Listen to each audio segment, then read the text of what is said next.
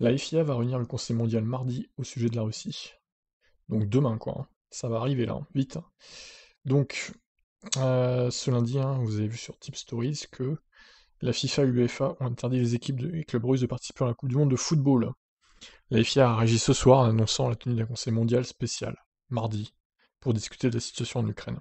Une réunion extraordinaire du Conseil mondial du sport auto aura lieu demain pour discuter des problèmes relatifs à la crise en Ukraine. Des mises à jour seront faites après la réunion, peut-on lire sur un communiqué de la fédération? Depuis 2013, le CIO reconnaît la FIA comme une fédération sportive en tant que membre, ce qu'il a forcément inclus dans la demande qu'il a formulée ce lundi. Le dossier a certainement atterri sur le bureau de Momo, qui a donc convoqué cette réunion extraordinaire. Il se pourrait donc que le sort de Mazepin soit scellé avant que Haas ne prenne une décision concernant Ural Kali, qui a disparu de la VF22. Cependant, il est aussi probable que l'équipe américaine se sépare de son sponsor, comme l'ont fait plusieurs équipes de sport, c'est notamment le cas du Football Club de Schalke, qui a annoncé lundi interrompre son partenariat avec le géant russe Gazprom.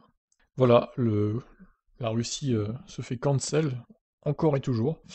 Donc euh, je m'attends à ce que demain, euh, tout pilote russe soit interdit de sport automobile géré par la FIA, tout simplement. Voilà, qu'est-ce que vous en pensez de toutes ces décisions? Je vous laisse commenter. Ciao